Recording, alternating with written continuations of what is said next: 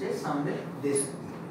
When we are talking about deep peels or deep peels, we are mainly dealing with the reticular dermis, which is above the fat This is where your dermal melasma is, this is where your acne scars is.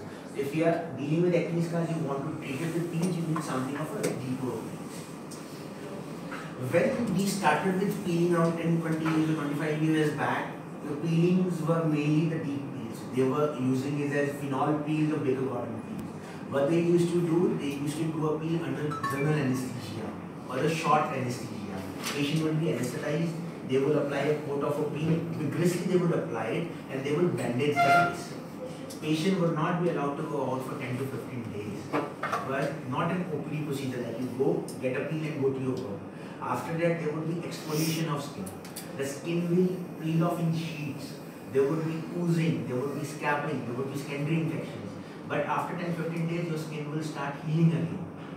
Advantages were